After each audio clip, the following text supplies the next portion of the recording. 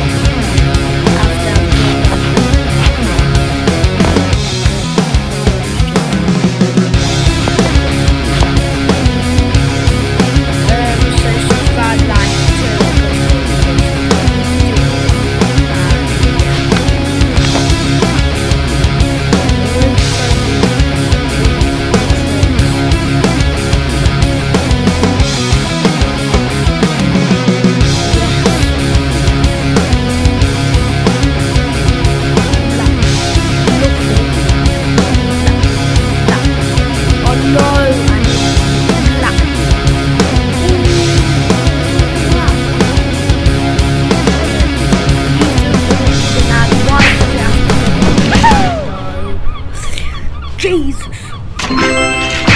So yeah, I'm gonna be trying to upload daily like I have, but it's kind of a struggle because.